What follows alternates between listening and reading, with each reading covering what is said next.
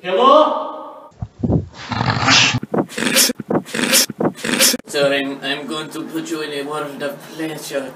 Yeah, yeah, just think about sexy Nathan pictures and Lieutenant Uhura. oh, and all those sexy things. Ah. It's Spock. Shut up, Nathan. Started back in 2006. Dean. Oh, Corey's not here. We can talk bitchy about him. You know that? You know those telescope? That telescope you got? Oh my god! Can you see my face?